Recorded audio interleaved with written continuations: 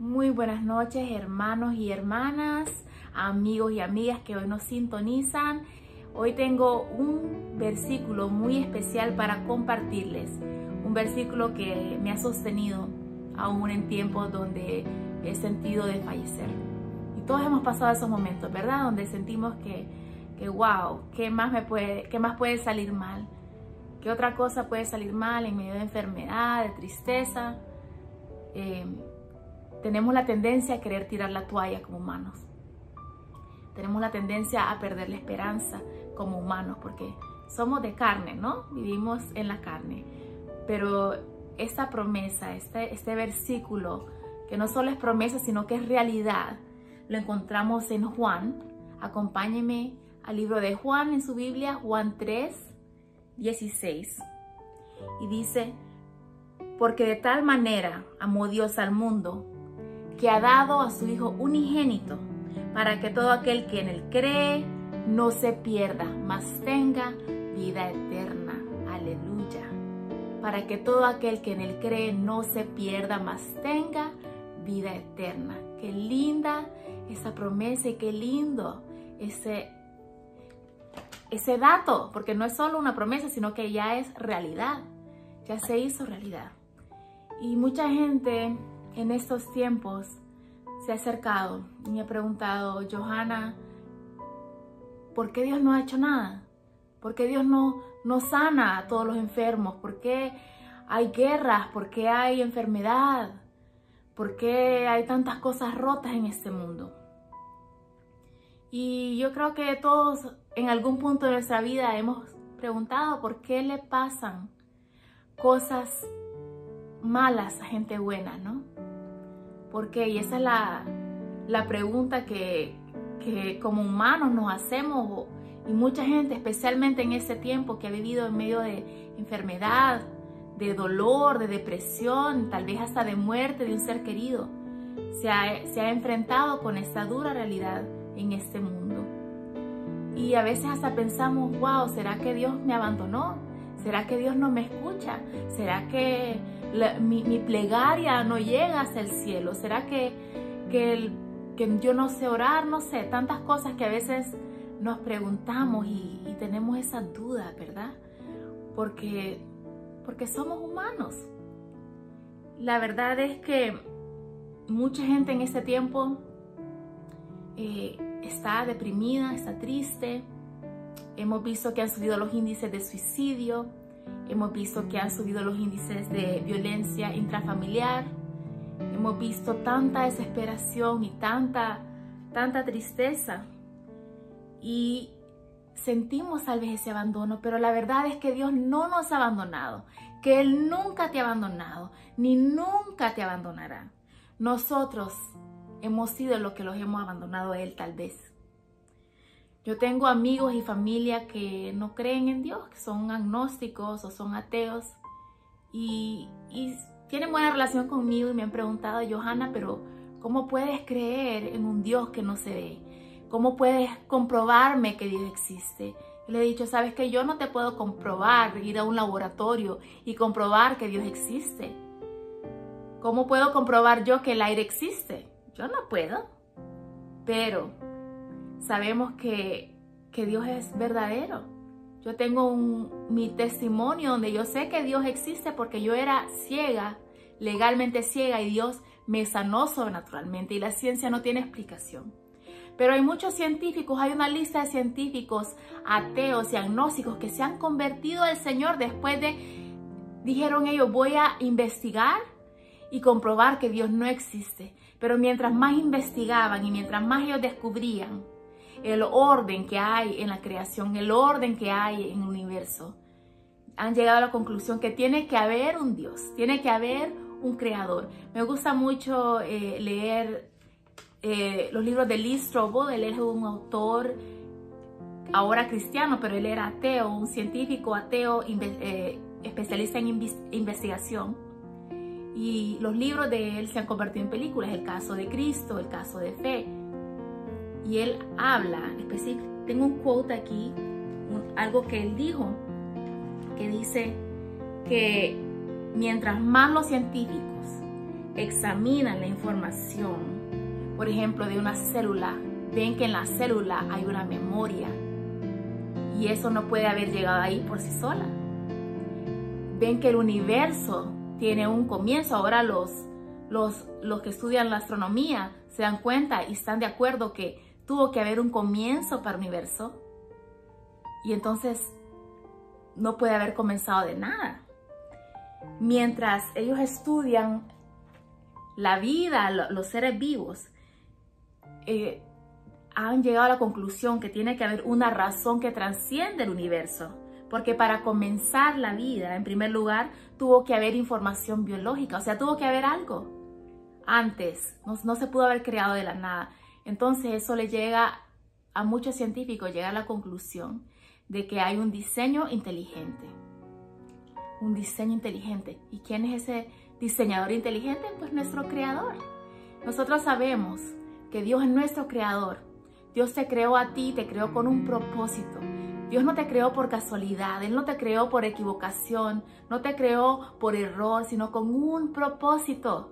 Nada de lo que está aquí en el universo fue creado por error. Mientras más los científicos estudian, se dan cuenta que no hay errores, no hay casualidades, todo tiene un principio. Y tú también tienes un principio. Tú le interesas a Dios. Él te ama.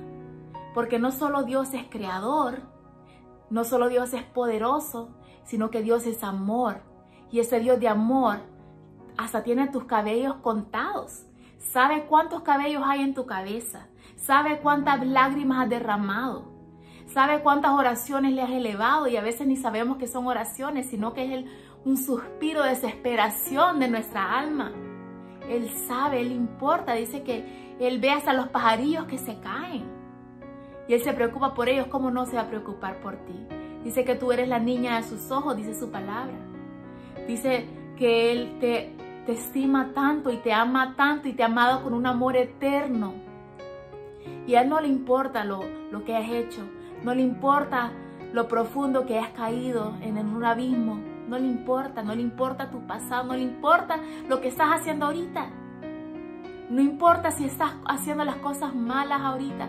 A Él no le importa, le importas tú. Le importas tú, te ama a ti. Y por eso en esta noche, hoy estás viendo ese mensaje, ese mensaje del Dios que dio todo por rescatarte a ti. Porque según la ley que Dios hizo, el pecado, la consecuencia del pecado es la muerte.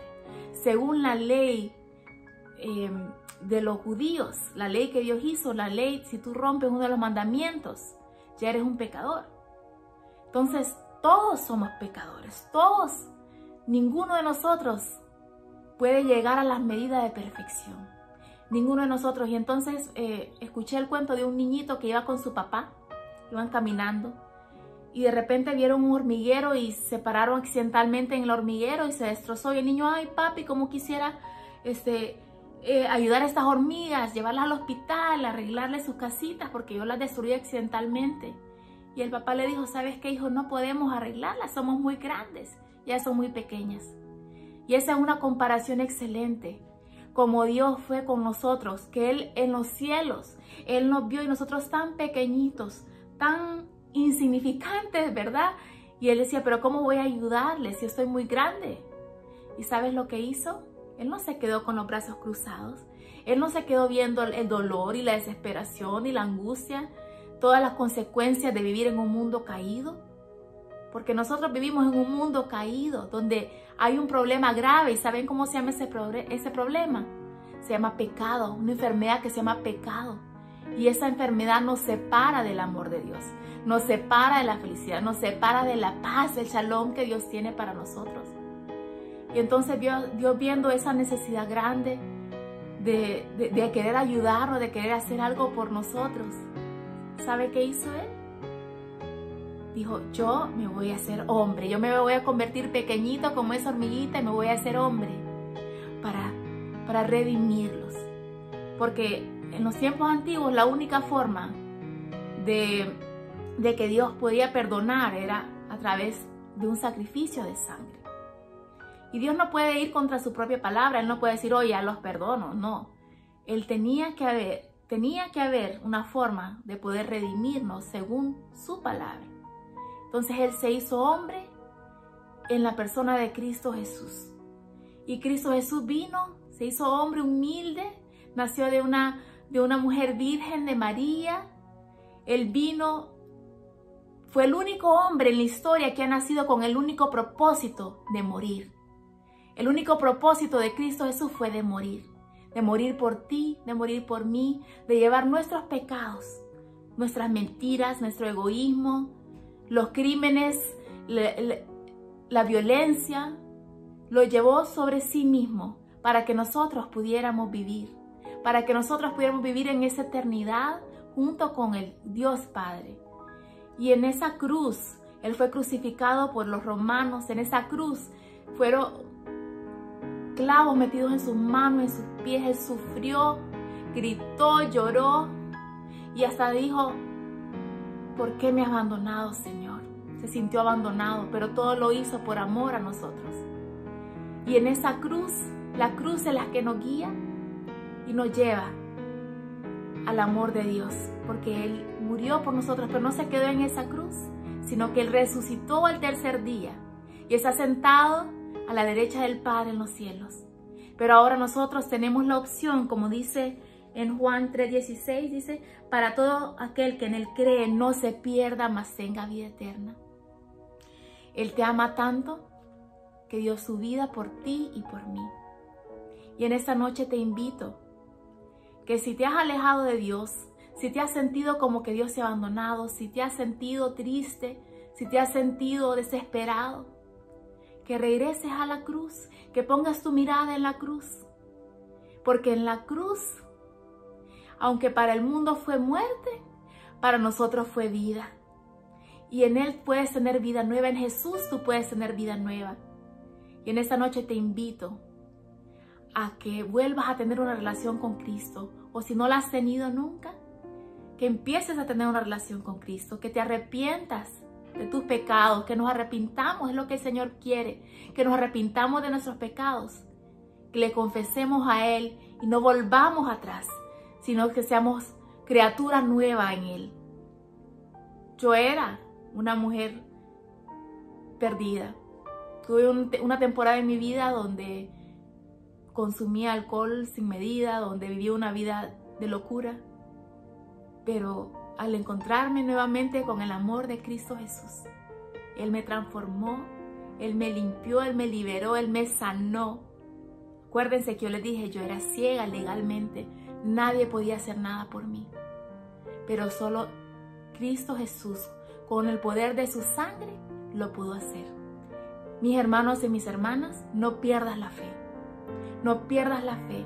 Aunque estemos en tiempo de pandemia, no pierdas la fe porque la cruz que Cristo se subió en esa cruz por ti y por mí, no la desperdicies. Que el Señor te bendiga. Gracias por esta oportunidad. Buenas noches.